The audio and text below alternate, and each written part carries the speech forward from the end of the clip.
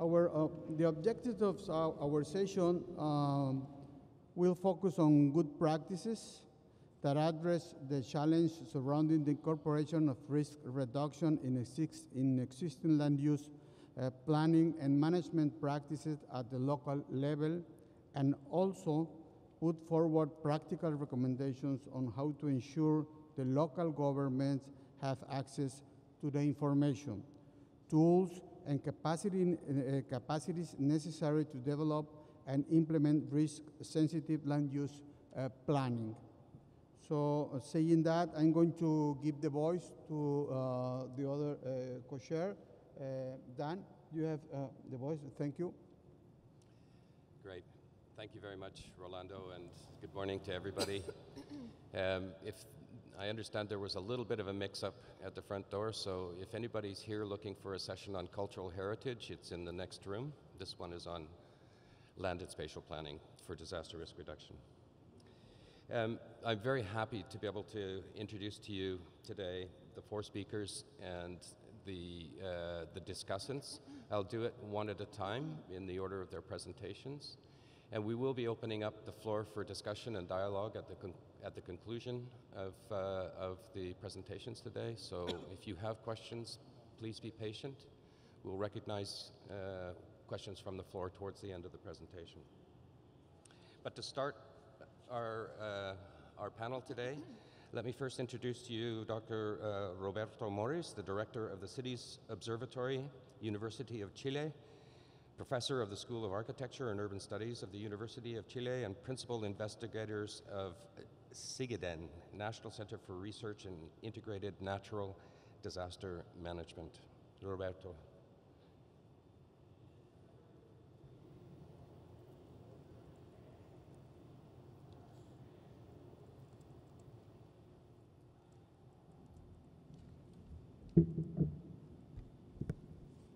Thank you, Dan. Tengo una presentación. Ok. Buena, buenos días.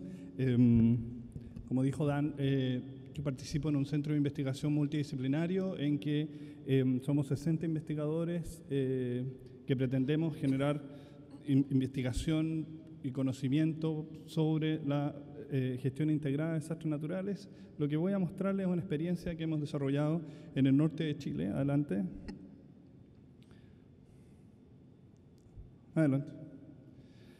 Primero, como contexto, una de las cosas importantes en Chile es que eh, el modelo de desarrollo que hemos tenido lo que ha pretendido es eh, generar eh, desarrollo económico y disminución de la, de la, pobreza, lo cual ha sido muy importante y para ello la provisión de vivienda ha sido un elemento fundamental. Pero para ese modelo ha sido también necesario tener una débil planificación. Cuando pensamos en la manera de cómo gestionar mejor nuestro territorio, tenemos que asumir que estas debilidades de planificación son un elemento estructural que debemos abordar.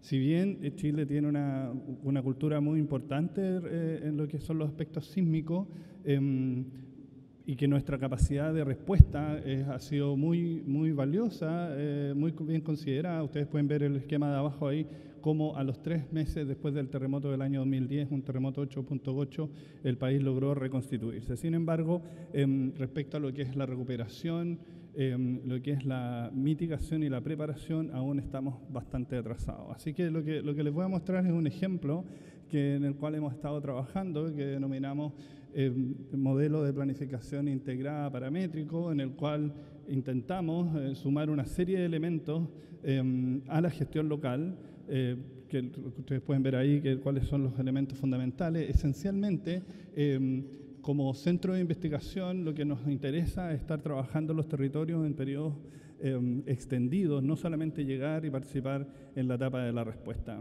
Para ello hemos desarrollado este modelo basado en nuestras experiencias anteriores y que en el caso de Atacama, que es el caso que les voy a mostrar ahora, es especialmente importante ya que se desarrolló eh, hubo un, un, evento en el año 2005 y mientras está, 2015, perdón, y mientras estábamos trabajando en el territorio acaba de venir otro evento hace dos semanas atrás. Adelante. Uno de los, muchas gracias. Eh, lo fundamental para nosotros es asumir la realidad en la que estamos viviendo. Una de las cosas fundamentales es que eh, estamos viviendo realmente un nivel de concentración de eventos eh, muy intenso en los últimos 10 años. Ustedes pueden ver entre el año 60 y el año 2005 tuvimos eventos de distinto tipo cada cuatro años, sin embargo, el último tiempo hemos tenido cada 10 meses. Eso significa que eh, ya los desastres no son una excepción, sino que es una situación permanente. Al mismo tiempo, esto ha generado que los, los equipos eh, de, gobierno han tenido que enfrentar de manera eh, muy cercana eh, estos distintos eventos, por lo tanto se ha generado un proceso de aprendizaje sobre cómo estamos nosotros entendiendo el ciclo de la, de la gestión de riesgo y por lo tanto tenemos que avanzar hacia estas otras fases más allá de la respuesta. En ese sentido, la experiencia de Japón ha sido muy importante para nosotros, donde em, la, importancia que tiene la memoria dentro de lo que es su modelo de gestión de riesgo, donde la preparación de la comunidad está basada en tomar conciencia de lo que son las distintas amenazas en su territorio y cómo incluso también, como el caso que podemos ver ahí, la misma proceso de intervención de distintas mitigaciones posibles se transforma un laboratorio de distintas eh, soluciones, pero al mismo tiempo también como un espacio educativo. Uno de nuestros casos más relevantes que nos ha permitido ya llevar siete años eh, eh, haciendo seguimiento del proceso del caso de Treyúgue, una, una, una localidad muy pequeña en el sur de Chile que el año 2010 fue afectada por el terremoto y tsunami, donde se logró desarrollar este modelo de apoyo directamente de los municipios con algunos donantes eh, distintos al propio municipio y al Estado.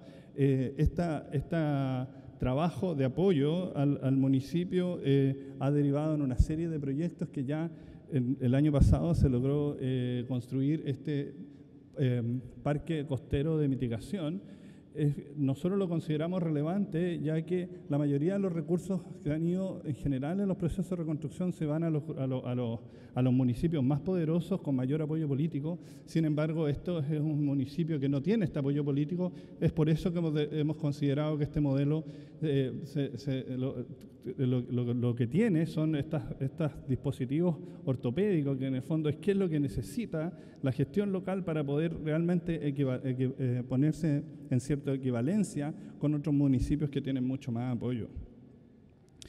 En el caso de Atacama, que son estas dos em, eh, localidades de Chañaral y Diego Almagro, que están localizadas en el desierto más árido del mundo, el año 2015 tuvimos un, una aluvión que se concentró en la montaña con una gran cantidad de, de lluvia, 50 milímetros en, tres días, lo cual es, más o menos un periodo de recurrencia cada 100 años eh, en, la zona. Sin embargo, eh, hace dos semanas también tuvimos otro evento que fue costero y que afectó a las, eh, directamente a la ciudad. Esto ha sido muy interesante para poder ver cómo... los, los, modelos teóricos de, de modelación de, de amenazas pudieran ser chequeados en un, en un corto plazo. Si bien el impacto eh, de, la, de, este evento fue menor que el anterior, ya que se había destruido gran parte de las zonas que estaban más localizadas, eh, también ha significado un mayor impacto en lo emocional y en lo político. De ahí a que nuestro modelo se plantea eh, esencialmente como un instrumento político y no solo técnico de diálogo entre las autoridades locales, la comunidad y los distintos sectores que participan en la, en la reconstrucción. Ahí podemos ver a la izquierda el plan de reconstrucción generado rápidamente el año 2010, el 2015, en que reorientaría el desarrollo de la ciudad y el proceso que se está desarrollando hoy día de zonificación y definición de obras de mitigación. Aquí es donde está el, diagrama en el que, del, modelo que estamos planteando, donde em, hoy día lo más relevante, el instrumento más importante es la zonificación em, de lo que se denomina el plan regulador, sin embargo, otras acciones como las inversiones de, mitigación y todo lo que son los procesos de apoyo socioeconómico son elementos que están dispersos en el sistema. Por eso este modelo plantea el apoyo directo al municipio en, un periodo de largo plazo, sin financiamiento del propio municipio, eh, em, un sistema de seguimiento con un sistema de de infra- eh, si- sistema de, eh, de datos, perdón, un- infraestructura de datos espaciales desarrollado a nivel local en open source para el municipio, pero que al mismo tiempo dialoga con el resto del sistema del país para poder tener un proceso de seguimiento y por sobre todo un, un- un modelo de desarrollo prospectivo que estamos desarrollando y que se ha podido eh, em, desarrollar en, otr- en otras localidades, pero esta sería la primera vez que se puede desarrollar en una em, experiencia de reconstrucción. Muchas gracias.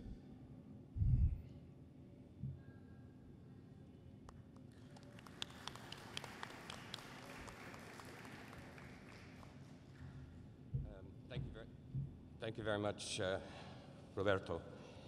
Um, This presentation is illustrating one of the thematic areas of this panel, which is involving the, the, the, the close involvement and the commitment to the scientific and technical community in supporting local governments as well as the need to involve civil society and the private sector in the, uh, in the development and monitoring of effective land use plans and policies. You can see that in, in the presentation from Chile, the, the, the importance of setting up this comprehensive, integrated, parametric uh, planning model that focuses on the regulatory framework, that focuses on the development and design uh, elements, that focuses on financing and investment for delivery, and that is, is driven by crisis as an opportunity to initiate change. And I think this is a very important principle that we'll hear more and more uh, over the course of this particular presentation, or this set of presentations. And to continue the topic uh, in this vein, but to take it slightly in a slightly different direction, I'd like to introduce now Dr. Miho Ohara, who's a senior research at the International Center for Water Hazard and Risk Management, and also an adjunct, adjunct associate professor of disaster management program of National Graduate Institute for Poli- Policy Studies in Japan. She has a PhD in disaster risk reduction planning from the University of Tokyo, Japan. Dr. Ohara.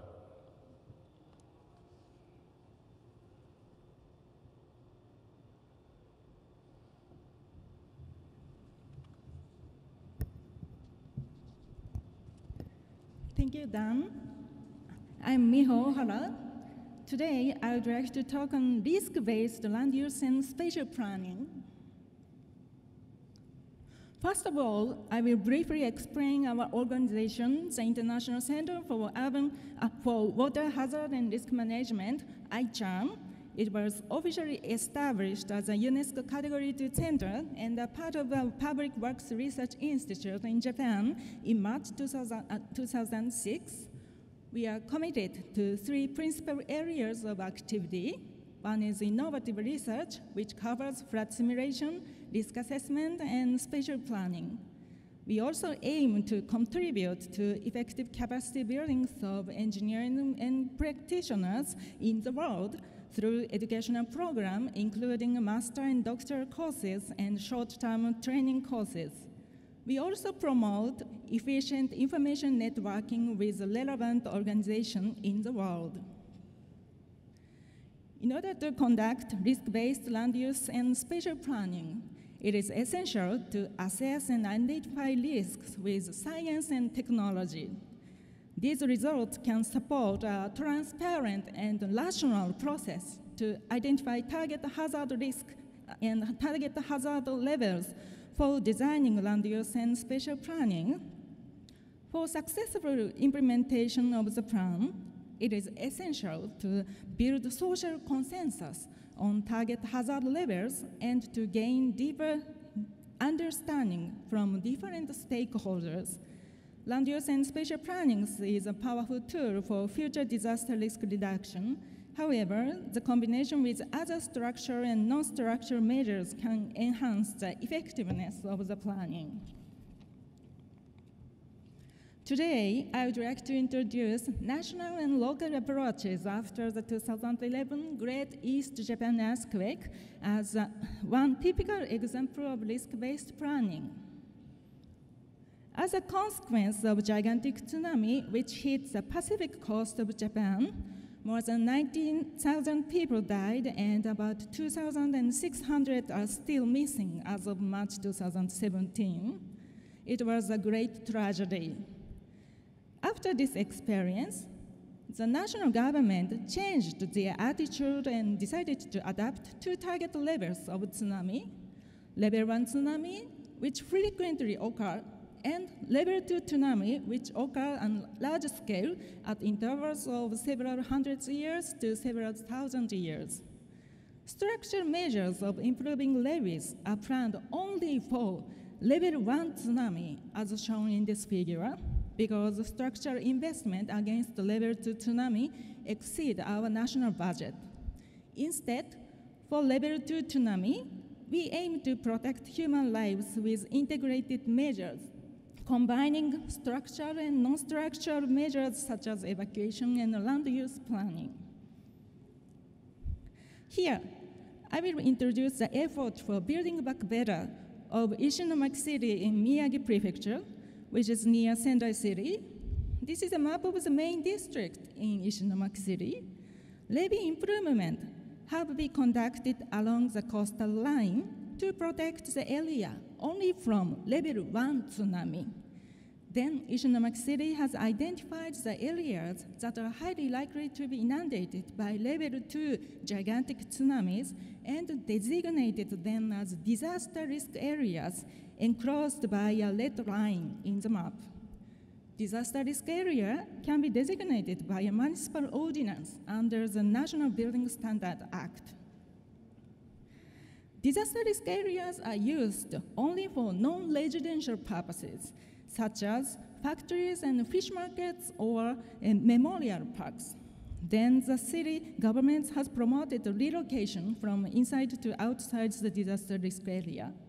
Inside the area, several tsunami evacuation towers like this photo have been constructed for people visiting or working in these areas in case of level 2 gigantic tsunami in order to achieve no casualties in future disasters. The combination of a land use plan with other countermeasures is very important. In addition, the elevated road networks are being constructed to stop tsunami waters spreading widely. Infrastructures should be assigned important roles in land use planning so that it, it provides multiple protection system against devastating hazards. The photo shows a part of Ishinomaki City that I visited last January. Can you see this empty area? As you can see, the disaster risk area here is under construction, as construction of elevated road networks takes a lot of effort and time. Now, more than six years have passed since the tsunami disaster. However, the reconstruction and relocation projects are still underway. In the affected areas, almost 90% of the land development for relocation have been done, and it is scheduled to be completed by March 2018. So we are really waiting for the next spring. So public consensus is essential to achieve such a long process of land use planning. So half a year after the tsunami disaster, a new act for tsunami resilient city was enacted in order to reduce tsunami disaster risk in coastal areas in Japan. Under this act, yellow, orange, and red zones are designated by prefecture governors based on tsunami simulation. In yellow zones, public awareness should be enhanced by tsunami hazard map and evacuation drills. Orange and red zones are subject to building regulations. In orange zone, for example, hospitals have to be so built that rooms are located higher than the depth of the target tsunami. In red zone, private houses are also regulated. As a contribution from private sectors, real estate agencies have a responsibilities of explaining these risk zones when they sell or lend properties to potential residents. Next, I would also like to introduce the second example of local government. This is a practical approach against flood. Shiga Prefecture, located in western Japan, adopted a very unique policy for integrated flood management considering flood inundation probability in pre-disaster land use planning. The prefecture government publishes precise flood inundation maps with a return period of 10, 100, and 200 years based on high-resolution inundation simulation coupled with laser-scanned precise ev- elevation map. Then Shiga Prefecture conducted land use planning using a risk matrix based on the flood inundation maps. Land use is determined according to the inundation probability and inundation levels of the target location. If an inundation of over 50 centimeter deep is expected to occur more than once in 10 years, the area will be taken off the list of the area for future urbanization. The condition is shown by green line in the risk matrix here. If uh, in inundation of over three meter deep is expected to occur more than once in 200 years, the area can be designated as a flood risk zone with a residents agreement and construction of residence rooms below an expected inundation level is prohibited for new construction and remodeling of houses. So this case is shown by yellow line in the matrix. This is one of the unique practices by local governments in Japan for disaster risk reduction using land use planning. In conclusion, uh, let me summarize the presentation starting with actions that should be taken at the national level. I pointed out the importance of legal framework and science technologies to identify and building so- social consensus is crucial, not only for successful pre-disaster land use planning, but also for realization of building back better. At the local government level, the effort should be focused on more risk-sensitive land use and spatial planning with several stages of zonings. For more effective disaster risk reduction, combination with other countermeasures such as evacuation, multiple use of infrastructure protection system should be recommended. International cooperation is uh, also very important. We at iCharm aim to contribute to training of engineers and practitioners. Our educational programs provide opportunities to acquire the skill of risk-based land use planning and witness good practices through lectures and field trip. So if you have an interest in our activity, please visit our website here.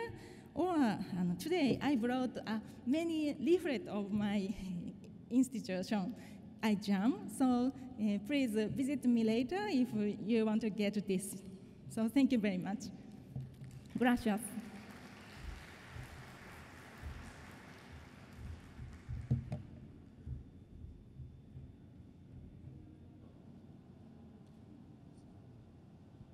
Is this working? Can you hear me? Yeah? Okay. So, one of the things that we see uh, regularly in the, in the communities of practice that you represent, that we represent, is the, the plea from local governments uh, to, to, to find assistance, to find the means of creating the capacity to address uh, risk. And what we see here from, from, uh, from Miho's presentation the very clear linkages between the role of the national government in creating uh, policy that enables local government implementation of risk informed uh, urban planning and controlling urban or urbanization processes in areas of risk. Um, in an example where a crisis, such as the, the tsunami of 2011, has generated massive transformation of the towns and cities in and around the Tohoku area in Japan from the perspective not only of uh, shifting urbanization and, and occupancy and use, uh, but also in cityscaping and in generating new topographies that are, that are uh, put in place to protect the assets and the people and the businesses and the communities in these areas of risk.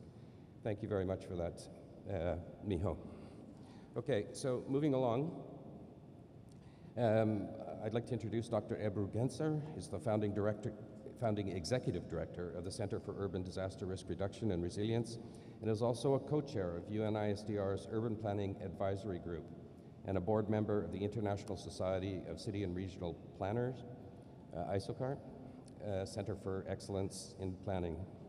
Ebru has a PhD in planning from Columbia University and has worked on the nexus of disaster risk reduction and urban development in southeastern Europe, Latin America, and the Caribbean region, and I must say is uh, an old colleague and friend, and I'm happy to welcome you here, Ebru. Yeah. As you wish.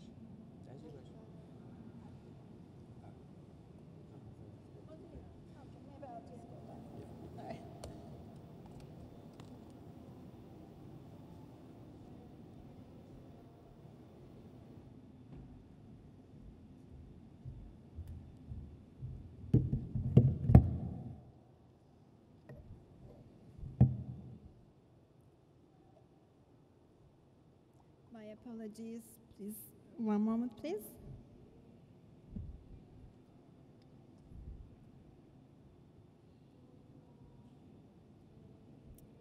Uh, Thank you, Mr. Chair, distinguished guests. It's uh, really a pleasure for me to speak here in front of you today.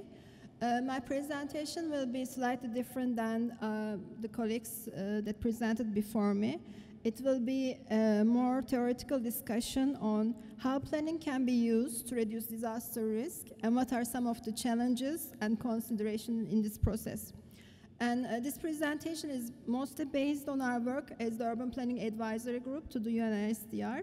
And two outcomes of this work. Uh, one of them is the Words into Action, a guide on land use planning, uh, which my colleague Cassidy Johnson has led, and the new 10 essentials for making cities resilient, uh, which I led on behalf of UPAG.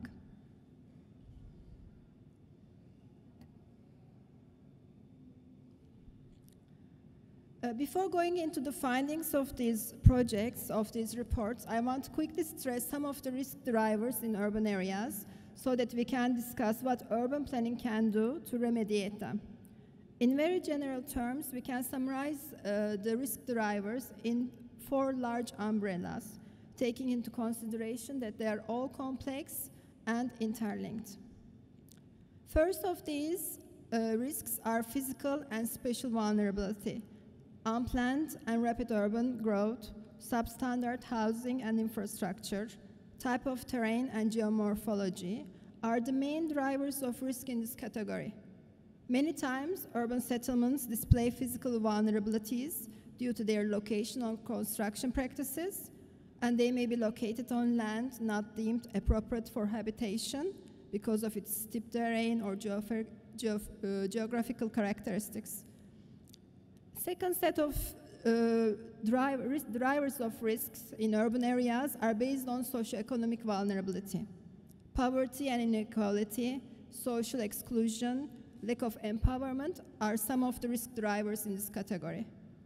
Differential access to land property rights, education, income, employment, infrastructure, housing, and political power intensify vulnerability and risk of many urban residents, uh, particularly those in informal settlements. Third set of uh, risk drivers in urban areas are based on institutional vulnerability. Weak institutional arrangements, poor land management and governance, limited implementation and enforcement capacity.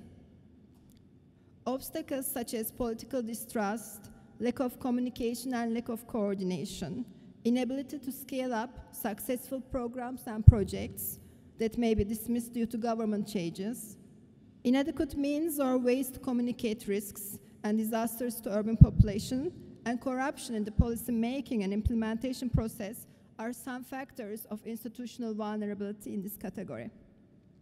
And finally, the four sets are based on environmental and climatological factors. Environmental degradation and, ri- and rising impacts of climate change. Urbanization is not only related to increased levels of emissions, but also it exerts pressure on ecosystems surrounding cities. Among others, for instance, changes in land use may cause changes in land surface physical characteristics, that may have implications for water-related hazards.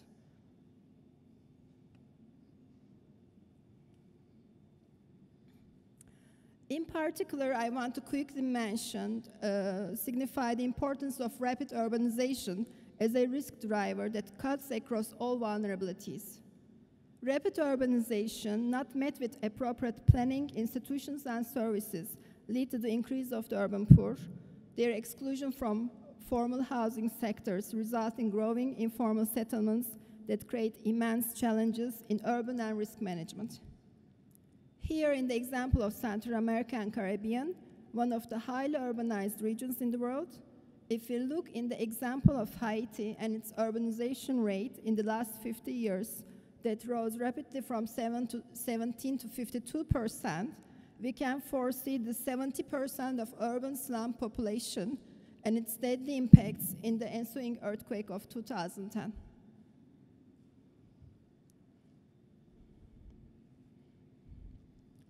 So what can planning do to remediate these mentioned risk drivers?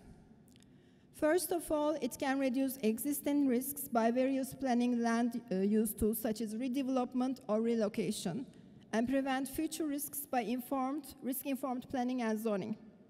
For instance, for existing risk-prone urban settlements, planning can propose redevelopment and or the exclusion of safe land for transfer of such development to safer sites and the acquisition of development rights for future risk-sensitive urban growth.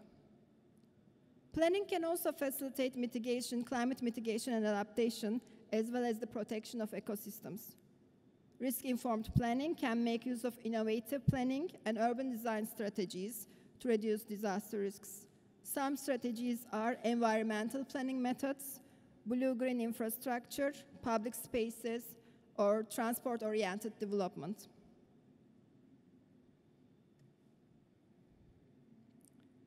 Planning can also help reduce socioeconomic vulnerability and increase empowerment by increasing legal, adequate, and resilient housing stock for the most vulnerable through a participatory process. It can enable the provision of safe land and secure tenure for the urban poor, granting incremental legal status to informal settlements, and enhance the various inclusion of various stakeholders that will also ensure the effective implementation of plans.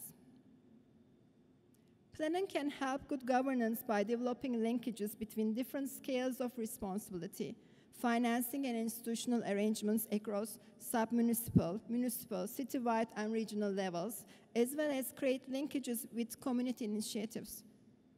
Improve and enhance planning systems, use existing resources, and create new opportunities for learning and improvement through monitoring and evaluation.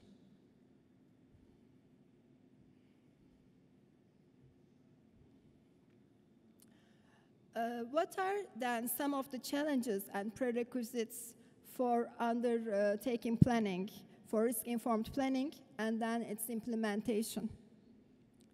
First of all, we have to understand that planning does not occur in a vacuum.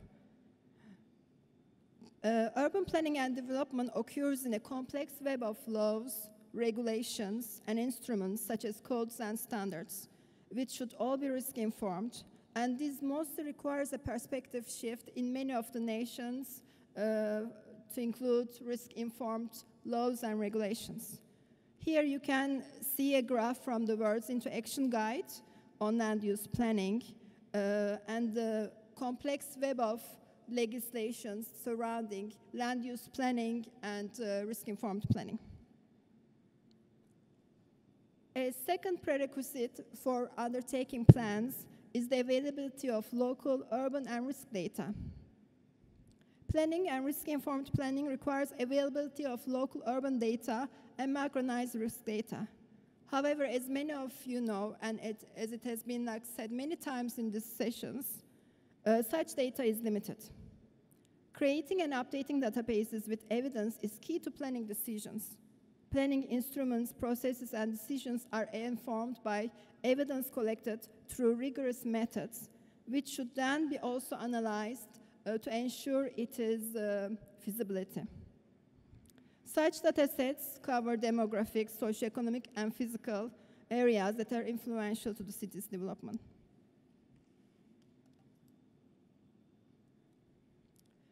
A third challenge in planning is the its, its multi-stakeholder and interdisciplinary nature. Planning is usually undertaken by uh, local city offices or sometimes by private companies. However, uh, there is a complex web of actors that are involved around planning and uh, risk-informed planning. And uh, the necessity of participatory planning approach is, uh, should be understood that, to, uh, to ensure the uh, effective implementation. Here you can see that we recently did a stakeholder mapping for a city in El Salvador, and it's a small city with 200,000 population. You can see the complex web of actors that are involved in the planning decisions.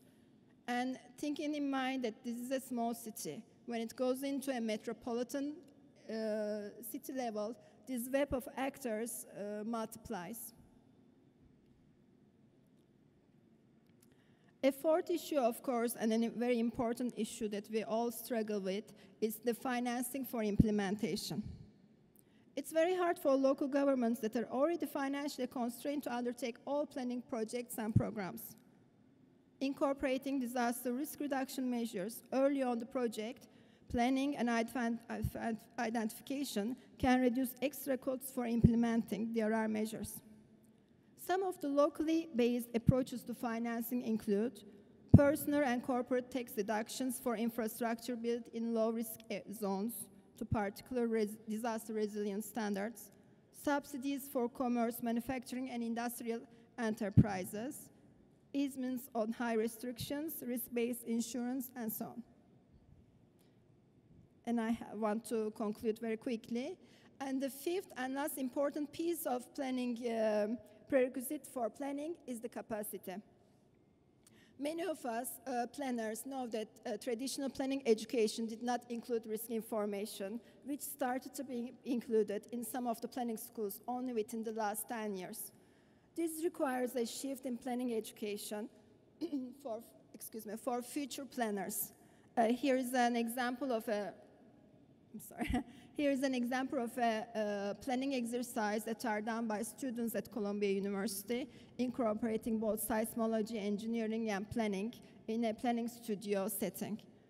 Uh, such programs need to be uh, extended uh, to all the nations and cities for future planners.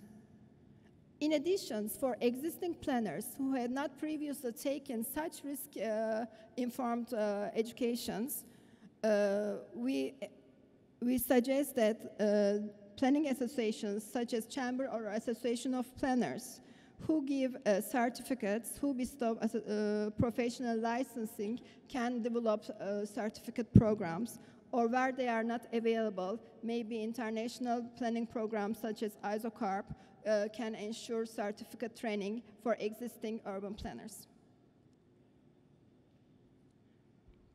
And to conclude, uh, here are some of the further considerations in this arena. We have to remember that not every kind of planning builds resilience. All efforts must be made to ensure that planning visions have resilience and disaster risk reduction at their core so that they can be, become central to the purpose of planning. Secondly, a back to basics approach is central to resilience building. It implies keeping in mind that one of planning's purpose is to promote social and spatial equity and justice. Taking a strategic approach, this means ensuring access to well-located land, flexibility in standards and regulations, maintaining and developing infrastructure, public service delivery, and financing. A third issue is that DRR efforts must be mainstreamed through, throughout formal and informal planning processes and the entire planning cycle uh, including legal and regulatory frameworks as well as financing arrangements. And finally, planning is a multi-actor process that involves governmental as well as non-governmental actors. Not all planning, uh, in fact, not much of the planning in, in the developing world is done by planners. The role of communities, the large, medium, small-scale private sector, and professionals must be acknowledged and supported. And policymakers must look for context-specific models and good practices and explore how they can be scaled up instead of applying one-fit-size solutions. For further information into words into action guide on land use planning and for 10 essentials for making cities resilient, uh, here are the informations. Thank you for your attention. Thanks, Ebru. Well, um, a very interesting conversation to and with planners about, uh, about risk-informed urban planning uh, that addresses the physical, spatial, socioeconomic, institutional, and environmental vulnerability, vul- vulnerabilities of cities around the world. And some interesting concepts related to transformative techniques that rely on regulation, uh, again, the issue of regulation enabling um, uh, risk informed planning, um, access to data, certainly the, the finance and the capacity of uh, professionals that are um, driving the planning processes in cities around the world. But a very, very important comment as well about stakeholders and understanding where decisions are taken. They're not always taken by local government and they're not always taken by uh, national governments. In fact, they're not always taken by government, period. And understanding that the role of, of the multiple array of stakeholders that, are, that have a stake in uh, uh, a risk informed urban plan and development process is a critical takeaway, I think, from that. Thank you very much, Ebru. Okay, so we're going to move on now to a man who has already been introduced to you. Uh, Roland Ocampo is the vice president of the Mex- Mexican National Institute for Statistics and Geography. He's the co chair of the UN Committee of Experts on Global Geospatial Information Management and a focal point for GEO, the group on Earth observations. Um, Roland will talk to you more about uh, the development and uh, custodianship of, of data and access to data for making informed uh, land and spatial planning for disaster risk reduction. Ro- Rolando. Muchas gracias. Eh, buenos, buenas tardes a todos ustedes.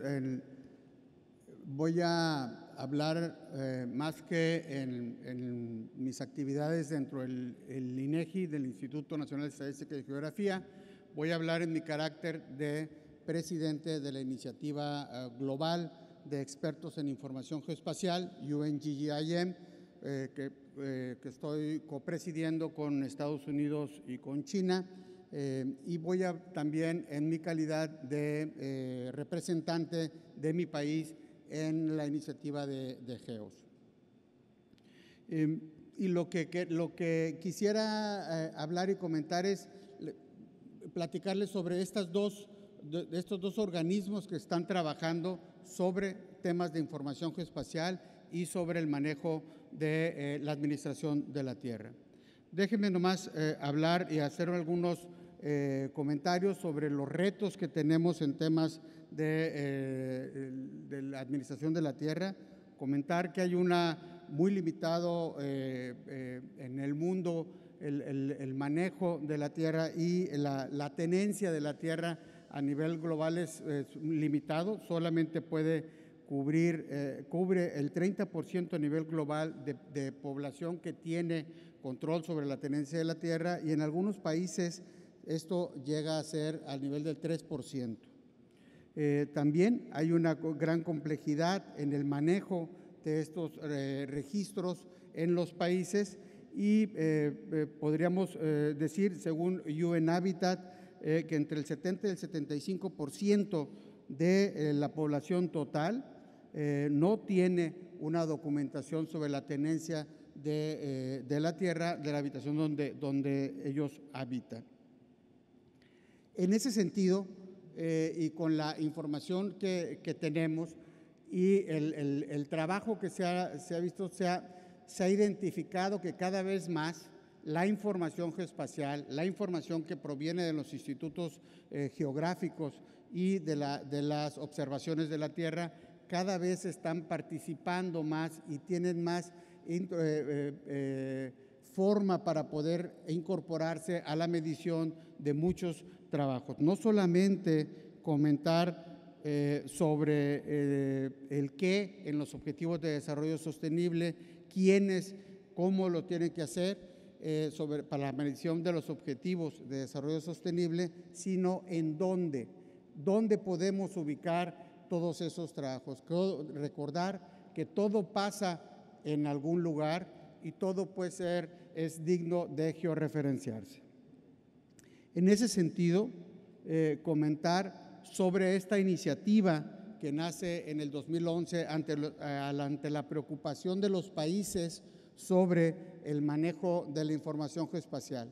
Había una eh, preocupación razonada sobre al interior de cada uno de los países de cómo se estaba manejando esta información de las imágenes satelitales y la información eh, geoespacial y que eh, eh, esto estaba siendo cada vez más controlado por la iniciativa privada, pero en realidad el mandato de los países es donde reside el manejo de esta información geoespacial. Es responsabilidad de los países el cómo usar esa información geoespacial. En ese sentido, se creó esta iniciativa que el año pasado tuvo un fortalecimiento en el seno de ECOSOC, para eh, el, cual eh, le da mucha fuerza también a esta iniciativa y le pide a los países que participen de manera más activa, reforzando todos los lineamientos.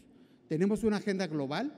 En la parte, eh, se han creado diferentes grupos de trabajo, uno que tiene que ver con las partes fundamentales de la geografía y la información, que tiene que ver con el marco de referencia global, todo lo que tiene que ver con la geodesia, otro que tiene que ver con el manejo de la información estadística y geográfica, cómo incorporar la parte estadística a, la- a los mapas, a la parte geográfica. Otro eh, que son los que nos eh, tienen que ver con, estos, el- con, con este evento, uno que tiene que ver con, con el- la administración de la tierra y uno más que tiene que ver sobre eh, la información para desastres eh, provocados eh, desastres provocados por fenómenos naturales. El- el, e- en esta iniciativa de Naciones Unidas hay un grupo, este grupo de trabajo tiene los grandes objetivos, pues provocar que los países eh, puedan tener y se, y se genere una, un liderazgo en las políticas para el manejo de las administraciones eh, de la tierra, cómo incorporar la información geoespacial en este, en este, en este propósito y la función que tiene el grupo de trabajo de, esta iniciativa es cómo tener un foro de consultas y un foro de información y cómo generar las normas técnicas que puedan ser útiles para eh, utilizar esta información a nivel nacional, a nivel eh, global y a nivel eh, regional. Por supuesto, todo lo que tiene que ver en cómo incorporar la información geoespacial en, términos de la administración de la tierra en los objetivos de desarrollo sostenible, que es una de las iniciativas en las que estamos participando. Eh, estamos ya, eh, solamente por mencionar, dentro de los objetivos de desarrollo sostenible, tiene que ver con el tema de administración de la tierra, pues en al menos y, en, en 11 de los objetivos eh, de desarrollo sostenible. Uno de ellos, por ejemplo, el, el- objetivo número uno, que tiene que que ver el indicador 1.4.2, que tiene que ver con la proporción de adultos que tienen derechos y que tienen con la tenencia de la tierra. Toda esta información, que si bien es cierto, se puede tener con tabulados eh, para poder identificar por, por eh, esta información, también se puede georreferenciar y la información geoespacial puede tener una participación muy activa, coadyuvando en la identificación de estos, de estos objetivos. Otro de ellos es el, el- objetivo 5, que tiene que ver con temas de género, pues identificar cómo son las propiedades, la, propiedad de la tierra dependiendo por género y pues en esto también creo con la información que se tiene, por un lado que podemos georreferenciar con la información de los censos de población que estamos trabajando también para participar en cómo georreferenciar toda la información que provenga de la próxima ronda censal 2020, pues eso nos va a poder permitir incorporar esta- en, este, en este indicador, cómo participar activamente y poder hacer una diferenciación en estos términos. Eh, hablando de, asociaciones, pues eh, lo que estamos buscando dentro de esta iniciativa global es cómo tener asociaciones con otras iniciativas, en particular la que, la que, de la que voy a presentar en adelante, que es con GEO, pero también con OGC, que es este organismo que se dedica a generar y a producir normas eh, técnicas, estándares que tienen que ver con la información geoespacial, todo esto en un ámbito de código abierto para poder participar. También con, los el Banco Mundial estamos trabajando en particular sobre este tema y con la eh, eh, Oficina Internacional de Topógrafos. Pero no solamente a nivel de estas organizaciones, pero también con la iniciativa privada. Buena parte de los, recursos que utilizamos los países y los especialistas en información geoespacial, pues proviene de la, adquisición de imágenes satelitales, de tecnología, de desarrollos de plataformas, y entonces por necesitamos esta asociación con ellos para poder trabajar en conjunto y utilizar esta información en, términos y que nos apoyen a los países en cómo construir todas estas herramientas para el seguimiento de los objetivos de desarrollo sostenible. Perdón, eh, la siguiente que quisiera eh, presentar es otra, otra iniciativa eh, mundial, que es el Grupo de Observadores de la Tierra, que es un organismo eh, intergubernamental, voluntario, que no tiene fines de lucro, en la cual estamos agregados los países que queremos participar y también otras organizaciones académicas e instituciones. Tenemos la participación de 105 países que están participando y eh, 109 organizaciones que están apoyando eh, académicas, organismos, universidades, de todo tipo que están apoyando para, ah, para eh, esta iniciativa. Los objetivos de GEO, pues lo que pretenden es generar la eh, eh, información tanto de, de la observación de la Tierra, tanto en la parte marina, en la parte terrestre. Me voy a enfocar en esta parte ahora, en la parte de la, de la cobertura eh, de la Tierra y cómo evaluar el progreso de esta información el- y con la participación de la, de la, de la academia para poder dar seguimiento a muchas otras actividades, en particular lo que tiene que ver con los objetivos de desarrollo sostenible.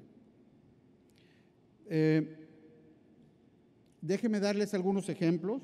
El tema de, eh, perdón, de, de- de urbanización, eh, en donde esta, esta iniciativa puede participar, en, par- en- en particular pues en, en el indicador 11.3, que es el ratio, el, radio que tiene la proporción de población con el, con el consumo de, tierra. Ahí se ven las tres imágenes, cómo va variando y cómo va, se va comiendo la mancha urbana a la parte territorial. El segundo, que tiene que ver con la degradación de la tierra, también eh, en otro de los objetivos, en, el, en el objetivo número 15.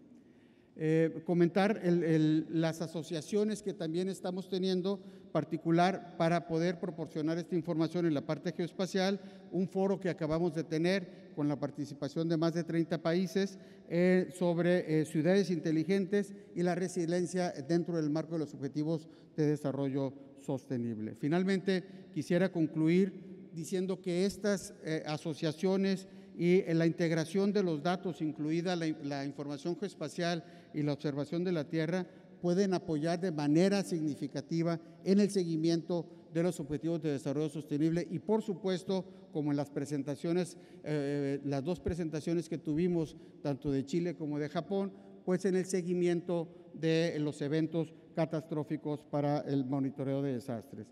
Mejor información resulta en una mejor toma de decisiones. En la medida en la que estemos coordinados en ese sentido, vamos a poder tener mejor información para el desarrollo económico y el desarrollo total. Eh, la contribución entre el buen, gobierno, la tenencia de la tierra y eh, lo que nos rige, pues bueno, es fundamental para esto. Y finalmente decir que las asociaciones son un elemento fundamental y es eh, la cooperación es necesaria para poder lograr estos objetivos y la coordinación entre todos nosotros. Muchas gracias eh, eh, por su tiempo.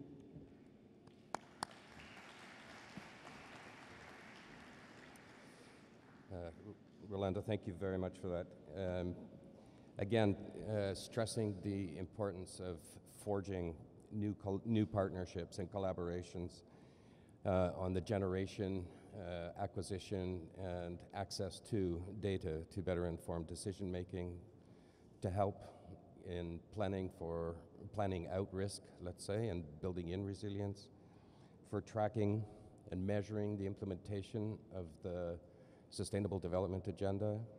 And I think one very critical point from the, from the, begi- the beginning of Rolando's presentation on the importance of access to geospatial data as a means of securing the rights to land and property for that 70% of the population uh, of, the, of the planet that currently do not have uh, recognized, documented, and formal rights of use and occupancy. I mean, this is, I think, a very critical point.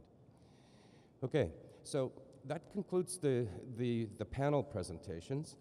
Um, I'm going to call on one of the uh, discussants that's, uh, that's to per- perhaps going to give us a different view. Um, Khalid Abouashe is the Director of Physical Planning and Architecture, the head of the Disaster Risk Redu- Reduction Unit, Aqaba Special Economic Zone Authority in Jordan. And this perspective is a perspective that, that comes from, let's say, the user side, the implementing side, uh, and representing government, local government uh, in this particular field. Um, Khaled, please, what are your views on the, on the, uh, the key points of the panel?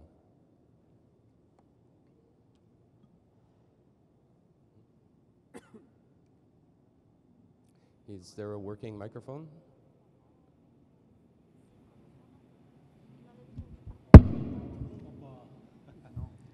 Thank you, Sherman, for uh, giving me the chance to shed the light on my experience in land use planning. I will speak from a practitioner point of perspective uh, as a local government. Uh, uh, I come from the city of Aqaba uh, in Jordan. Aqaba is a role model city in localizing disaster risk reduction and a member of the My City is Getting uh, Ready campaign. Uh, our risk drivers are the narrow, limited geographical strip, uh, which is Aqaba is located in the northern in the northern tip of the Gulf Aqaba. Also, the high demand of land due to the transformation of the city into a special economic zone. So you can understand the pressure that we are facing as a practitioners from the private sector on the land while we have very limited land suitable for development. In addition to that, we are facing the hazards of uh, flash flood and earthquake. So in 2001, when the city was transferred to a special economic zone, we have uh, adopted a master plan. The master plan was uh, uh, to give uh, the horizon and projection for the year 2030. And this master plan was market driven. It was supposed to guide development and investment in the zone. Again, with the pressure that we have in hand from the private sector on, and, the demand on the land, there was a wild, uh, uh, wise decision, if I should say, by the local authority, the Aqaba Special Economic Zone, to uh, start implementing and mainstreaming disaster risk reduction as a way to uh, to reduce vulnerability. So in 2009, we embarked in a project which was funded by UNDP, and we went through our master plan. We start revising this master plan, and we utilize all the risk information that we already had in our risk assessment profile, and we start producing risk maps uh, for the city of Aqaba. This is, was a very, uh, uh, very good process and an eye opener for decision makers at that time because we, we were able to define and map out the risk area utilizing microzonation maps and the flood prone area. However, we still uh, facing many challenges. Among them is the political pressure that we are facing. As all of us know that land use planning is not only a technical process, it's a political pressure. And when you have a political pressure on you. Sometimes uh, you cannot really uh, implement all the, the ideas that you feel that will lead to sustainability. Uh, despite that fact that uh, right now uh, we have succeeded in, in, in mainstreaming disaster risk, disaster risk reduction in our land use planning, I can say that our land use plan at the moment is almost risk informed. We managed to revise our urban policies to make it risk informed. Uh, we have collaborated and made a lot of partnership with Esri, utilizing GIS systems. At the moment, we are going to utilize uh, City Engine and City Labs and CityWorks uh, applications to better manage the, the, the city of, of Aqaba. Uh, the land use planning process, uh, it's still uh, not well established in, at the national level in Jordan. Um, and also in, in the regional part. But in Aqaba, there is, there is a success story, and, and right now we are in underway, we are trying to replicate this, this model uh, within the country of Jordan, where we, we will engage in a dialogue among uh, the municipalities and, review the master plan to make it risk informed. Uh, and I can recall, for example, Petra, because they are facing the same hazards. They have uh, heritage sites, and right now we are working closely with them to revise their master plan in order to make it risk uh, informed to protect some of the heritage sites. I will leave my uh, speak in a very important note, which is the traditional knowledge. What really amazed me when we start doing land use planning in Aqaba is that we have the old town. And the very interesting thing about the old town is that it was well planned. When the time there was no plans, but it was well planned, and the you can see that it was in mainstreaming with the flash floods and, and the way that water comes. And this is very important for me. Traditional knowledge is very important in land use planning, even though with all the technologies, with all the techniques that we are talking, but sometimes we try to overlook that as a practitioners. But in my case, traditional knowledge was very important, and I really think that if we're gonna start at the local level, traditional knowledge is very important, not only from the technical part of it, but it's very important to listen to the people and to understand their concern because after all, they will be part of the solution and they will buy your product. Thank you.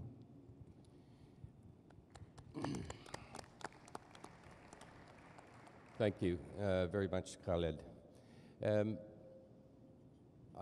okay, I, would uh, also like then to take this moment to call on uh, Dr. Richard Sliuzas from the University of Twente uh, to perhaps provide us with his reflections on the content of the panel and what is happening uh, in your world.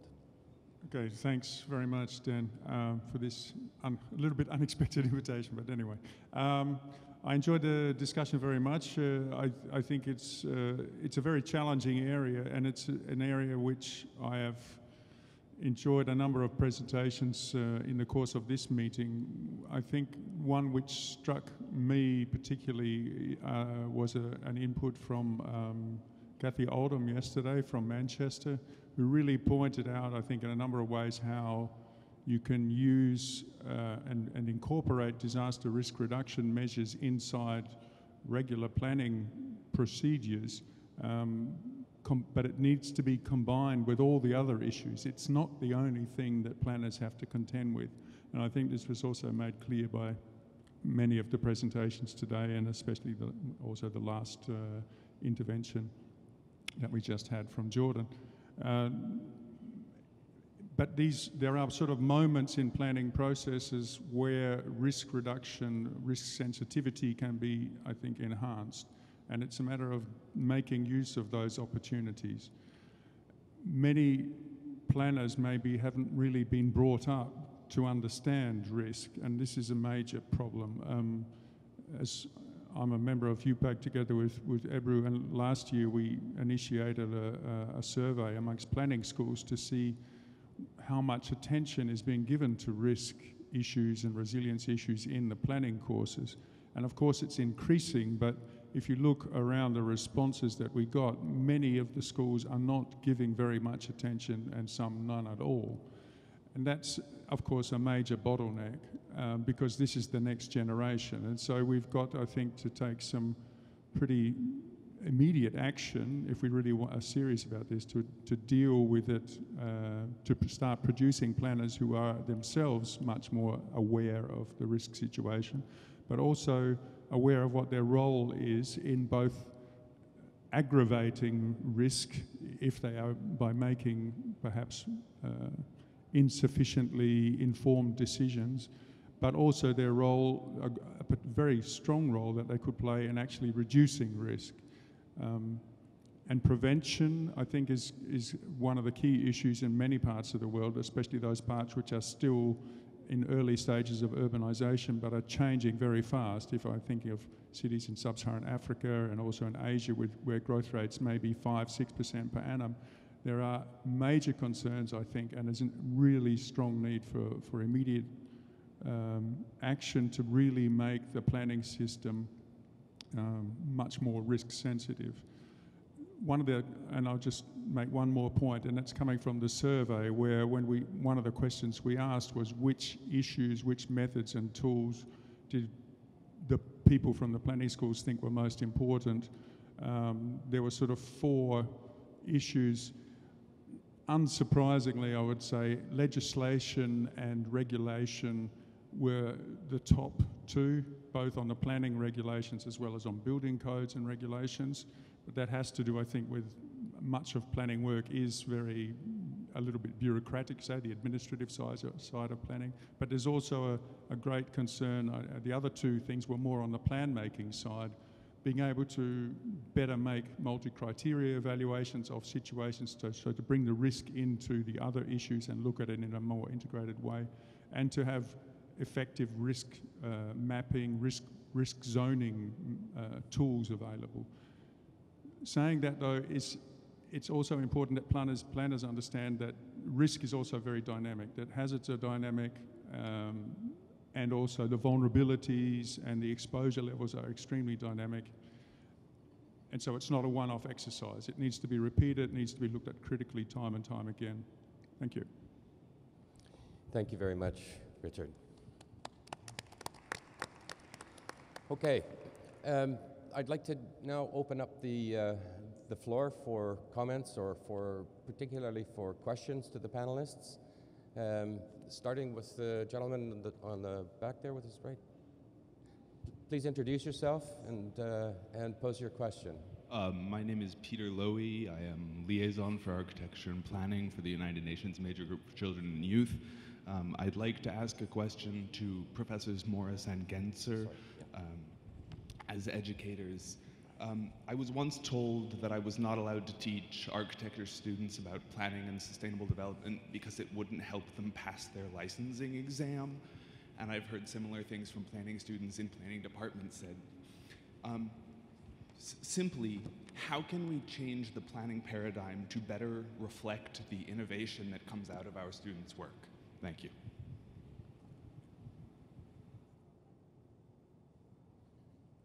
Thank you very, is it on? Thank you very much for your question. and my apologies, I've lost my voice. So maybe we, Maybe we, maybe if we hear three questions and then we can go on. Do, who has another- Yes?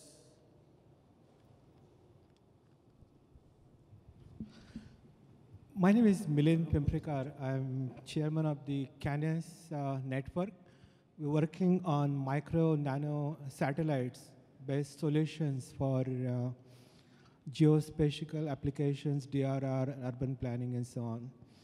Uh, I'd like to congratulate the group that was uh, mentioned uh, by Mr. Uh, Rolando Ocampo on this under the United Nations committee includes the GOs, CEOs, and so on.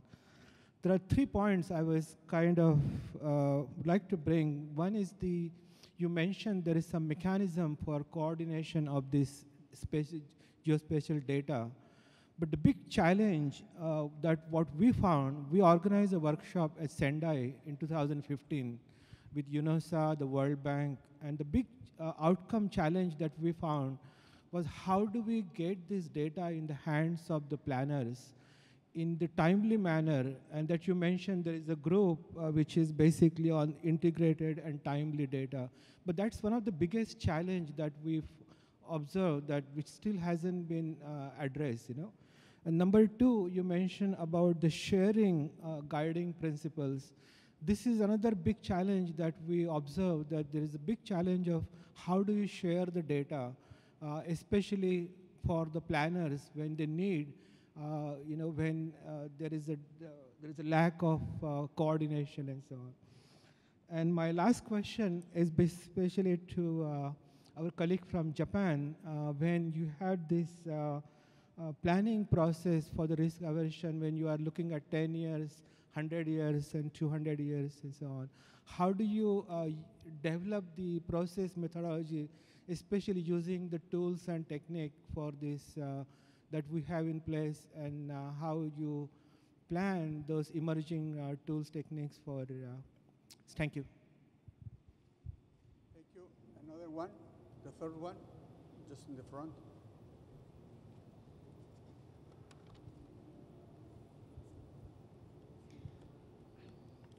Thank you very much for your very insightful presentations.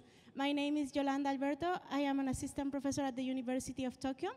And my question is, what are the current measures or the measures that can be taken to get the private and insurance sectors involved with land use planning? Thank you very much. Thank you. Um, I think, uh, who wants to answer the first question? I'll take the first question.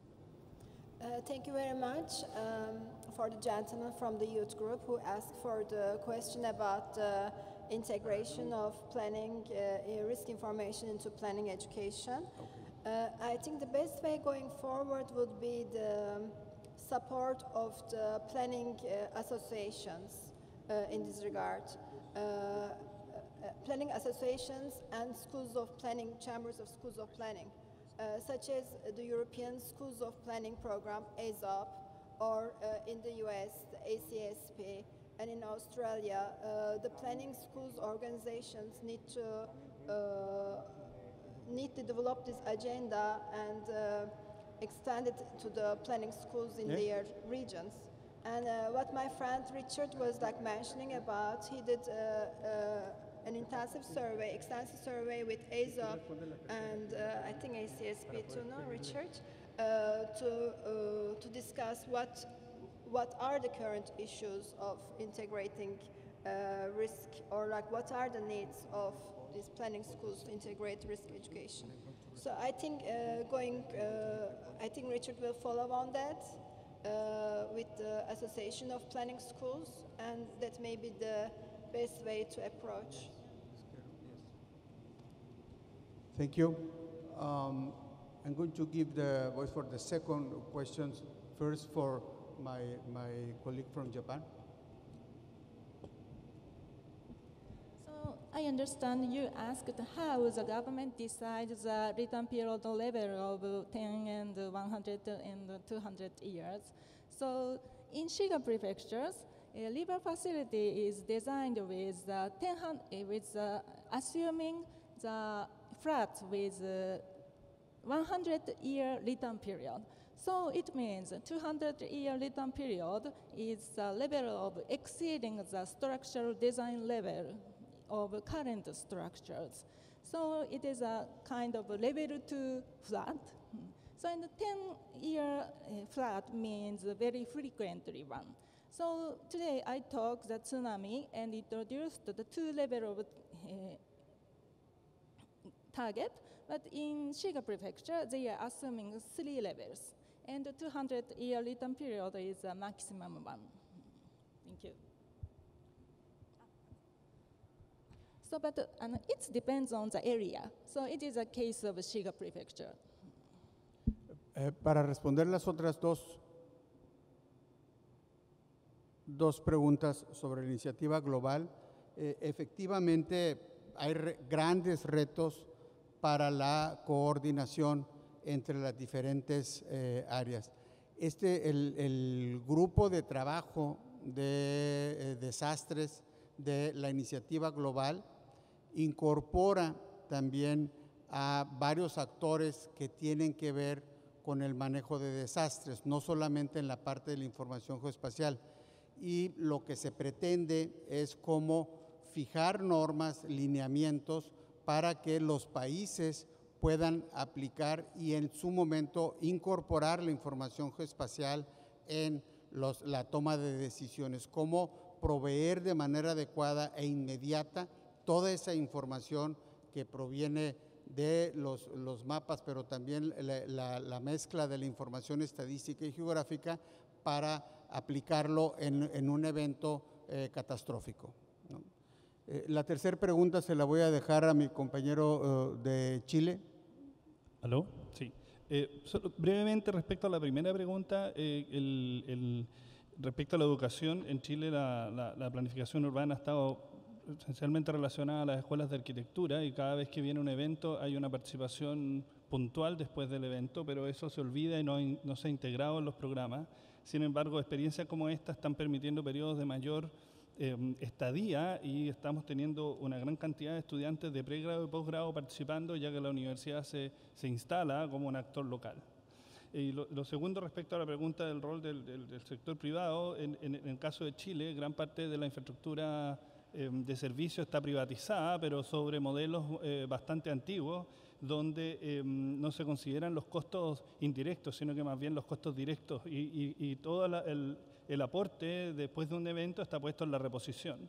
Y la, la mirada más estructural, que es la que se necesita tener hoy día, es cuáles son los costos reales, tanto los indirectos como los, los directos, y la, em, lo que es tangible e intangible.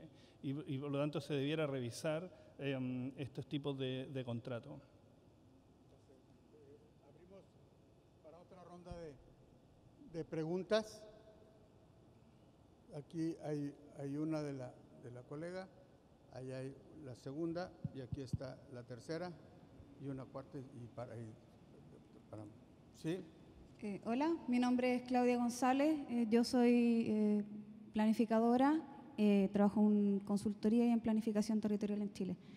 La pregunta es en relación a cuáles debieran ser las prioridades en la planificación informada respecto de los riesgos en relación a las ciudades que hoy día existen.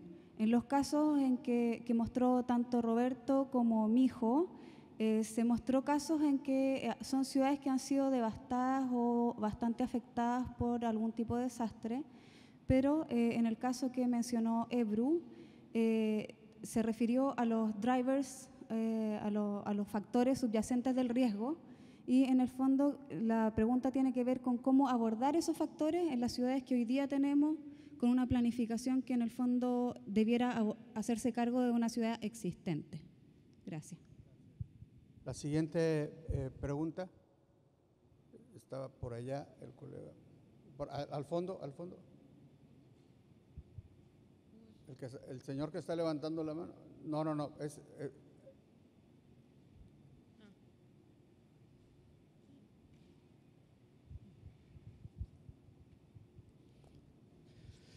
Thank you very much. My name is Brigadier General Msuya from Tanzania. I am the Director of Disaster Management at the Prime Minister Office. I thank you very much for the good presentation that has been done by the presenters from different angles. Uh, they have been talking about um, different uh, risk zones, including the um, flood, earthquake, and many other. And then we have been furthermore informed that there are factors that are affecting the good work that uh, the, our planners are doing, uh, such as uh, unplanned and rapid urban uh, growth is affecting the, the, the, the plan that we have already. And the weak institution and the arrangement, uh, climate change that I can see is a wide. And the decision makers, sometimes the planner say we, do, we have to do this, and then the, the, the decision maker comes with their own de- decision. And my, my, my question is really going further on land management, uh, I ask uh, the panelists, how can we apply risk transfer as a modality of mitigation measures in the issues that we are discussing on land management? Thank you.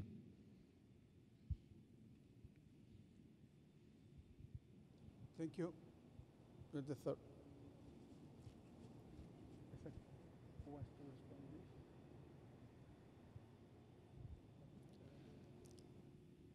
Thank you. My name is Kees van der Guchten from the Netherlands, representing the uh, government of the Netherlands and working with an institute which develops data and models, which is Deltares. I listened to a number of interesting presentations, and there are a number of good initiatives mentioned to disclose and enhance the, uh, and, and um, uh, fulfill the wish for access to more data and better data. And I would underline that very much. Of course, there's a plea as well for not only data, but also for good information and sharing it with a number of stakeholders. Um, there are many different stakeholders, and I would have the idea and would have the reflection of the panel that we could do better in not only providing data, also good information, but including translating it to different target groups. These are users for their own analysis, like governments and investors, but also to vulnerable groups. A very good example is present here, where we have an interpreter for a vulnerable group among the audience. And one of the groups that needs specific information are the investors. The investors to follow up to the planning which has been uh, developed. And my additional question would be, would you see, um, do you see a gap, or maybe not, whether or not there's enough information and good information for investors to follow up on the planning developed? And in addition to that, do we have information to evaluate such investments as to refer to the intentions of the Sendai framework? To invest in preventive measures and to evaluate it in a sense like um, how much investments have been made in risk-informed interventions. And as an example from the Netherlands, for example, we invest some 0.2% of our national gross domestic product in preventive measures to protect against flooding. And the result is that we have avoided losses if incidents would occur as we may expect from projected uh, climate change impacts. Avoided losses are up to 2% of um, our gross domestic product. Prevention pays back. That's the message from that type of data and information. Could I have your reflections, please, on that one?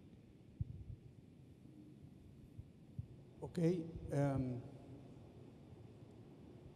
if you want the first uh, questions for uh, Ebru, yes? Uh, thank you very much for the question. Um, I think you made a very good point, which I uh, also mentioned briefly in the presentation, that um, it really requires a perspective shift in both national and local governments to, uh, to input disaster risk reduction into the planning process. And uh, this usually comes, as you said, uh, well through in like Chile, we saw this, in Japan we saw this, we saw this in the example of Istanbul, that it usually takes a disaster to make this uh, impact on the government to start planning for the next disaster. Uh, but I think we also have to take into consideration that uh, many of these risks that I mentioned about the, the risk drivers are everyday risks that uh, people face every day in informal settlements, uh, everyday floods. So sometimes it doesn't really need like big disasters to occur. And uh, many of the cities or in like some nations, there is not really always a master planning process. Uh, it's possible to do this in an incremental approach through small projects uh, to tackle uh, these, what we call extensive uh, not intensive but extensive risks of everyday risks.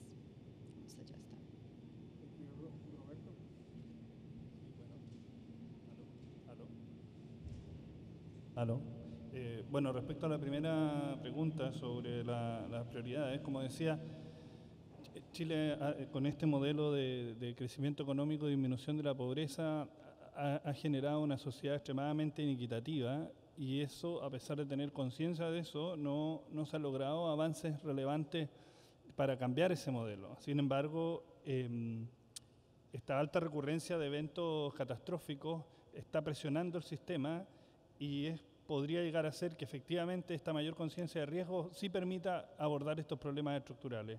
Así que yo percibo que la, la prioridad en las ciudades que ya han sido productos de este modelo y que tienen altos niveles de, vulnerabilidad es que se, se- atacara precisamente a los grupos em, más vulnerables, que son los que están localizados en las zonas eh, de riesgo, que también terminan siendo los más pobres y que por lo tanto algunos de ellos o requiera relocalización o obras de, de mitigación.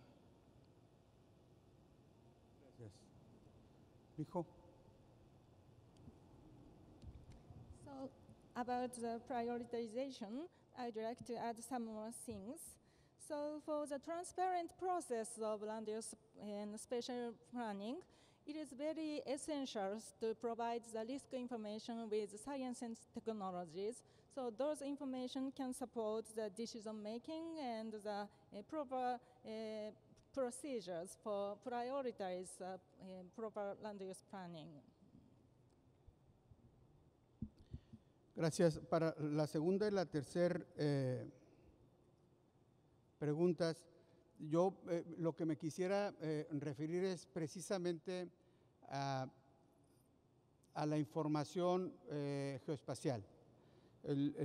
Tanto para la parte de para poder eh, aplicar las, transferencias de recursos y para la aplicación de eh, las inversiones para tomar de una mejor manera, yo considero y creo que el, el hecho de poder alinear la información geoespacial en los diferentes ámbitos, por un lado, por lo que tiene que ver por el manejo de la tierra, por otro lado, la perfecta ubicación de el- el- del, territorio con un marco geodésico eh, universal que ya fue aprobado en Naciones Unidas por la Asamblea.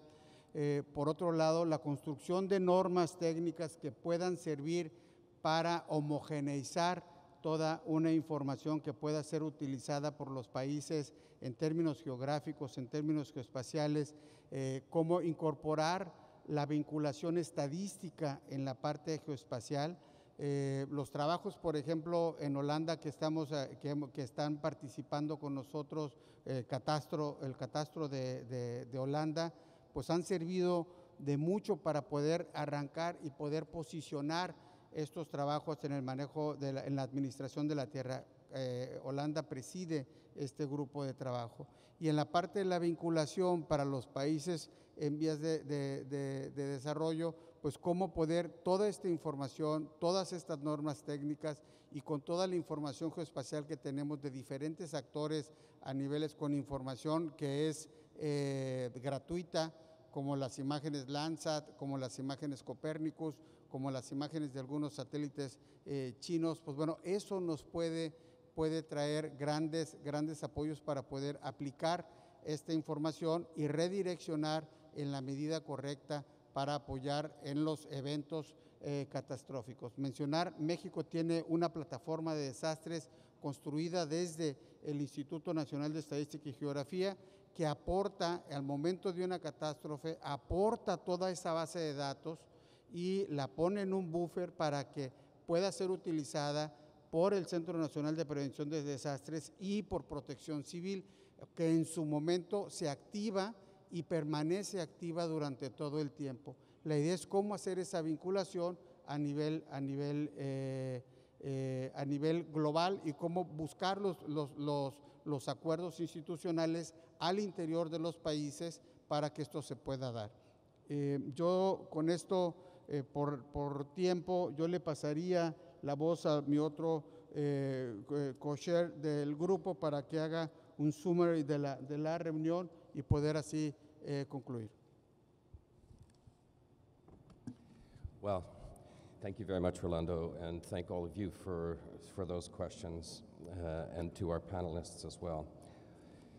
trying to summarize the meeting, there is an incredible amount of content uh, that was provided both uh, through the panelists' presentations, from the discussants, and, and from and in their response to your queries. But let me just try to set out what we first started to do. The Sendai framework stresses the need to reduce exposure and vulnerability while preventing the creation of new disaster risks by focusing on tackling underlying disaster risk drivers, which includes unplanned and rapid urbanization as well as poor land management. Each one of the presenters addressed elements of this particular ob objective of this session in terms of the generation, storage, creation, and access uh, to large-scale data sets, um, the, which Rolando has been talking about and which many of you have talked about as well.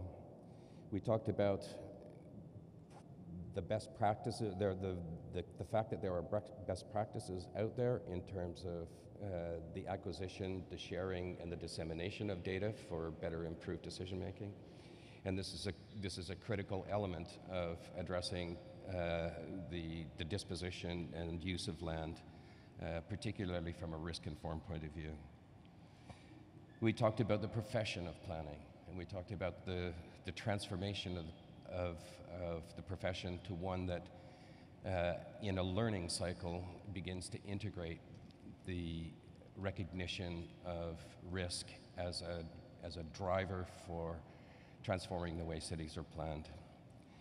We heard practical examples from, from Chile and from Japan where cities are, have been transformed, sadly in both cases as the, as the result of crisis uh, forcing a transformation, uh, but, and, and recognizing that quite often this is the driver for uh, change uh, in cities and for rapid transformation of cities. And we heard some practical, uh, some practical suggestions in terms of probabilistic risk modeling, uh, controlling the manner and space and the spatial distribution of, uh, of urbanization patterns. We, we saw real examples of the use of uh, and protection of public space uh, as a means of protecting cities both in Japan and in Chile. We saw the importance of mobility and the access and egress elements uh, essential in cities that are in constant exposure to uh, risk, particularly in the case of Chile from, uh, from flooding and earthquakes, and of course in Japan from, from earthquakes and, uh, and uh, tsunamis. We also heard interesting projections around planning horizons.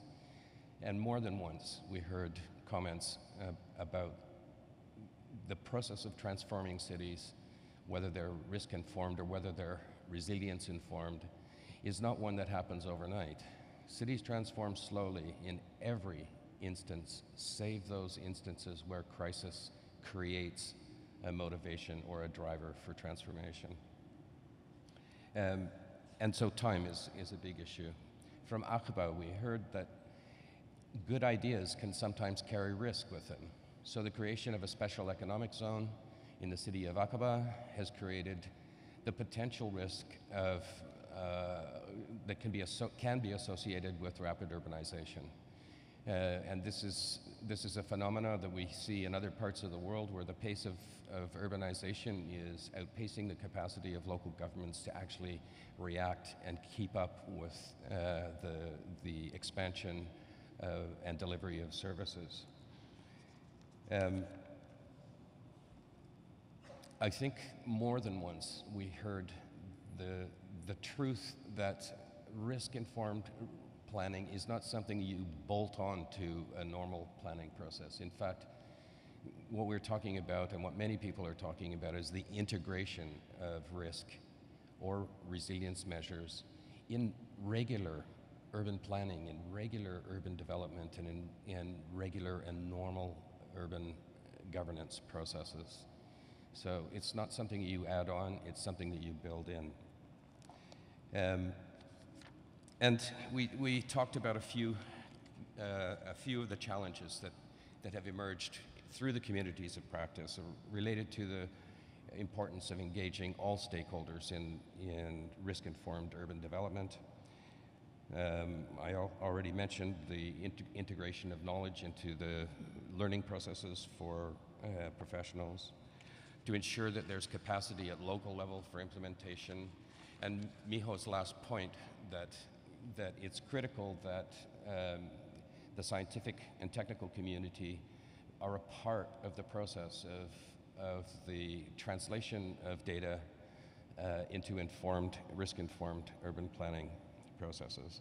I would like to close with one further reflection, and that is in, in throughout the presentations and the, and the conversations here, we've talked about and we've heard about the need for national governments to step up and ensure that the national policy and regulatory frameworks enable the development of risk-informed urban development.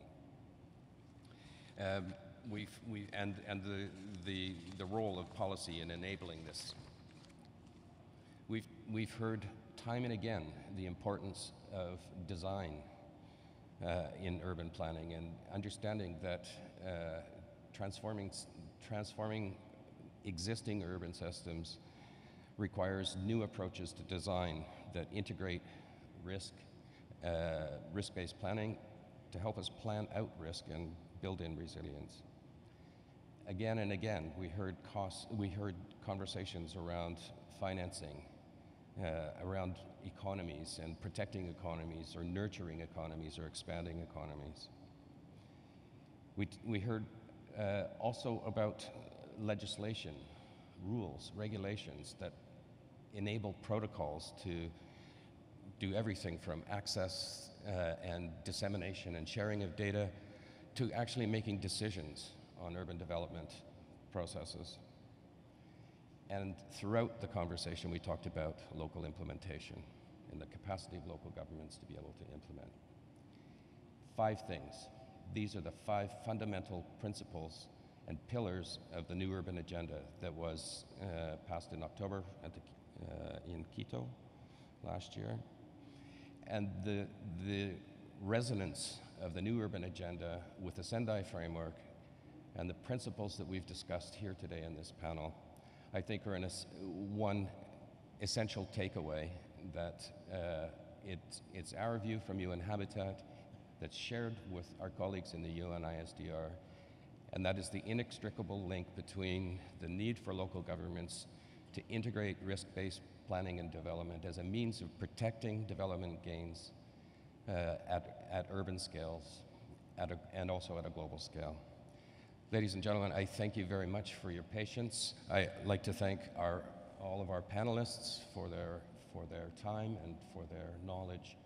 Uh, and uh, I'll close the session here. Uh, just briefly handing over to Mr. Ocampo uh, for a, a closing word. Thank you very much so uh, for your attendance and please uh, if you help me to give a, applause to all of the members of this session so thank you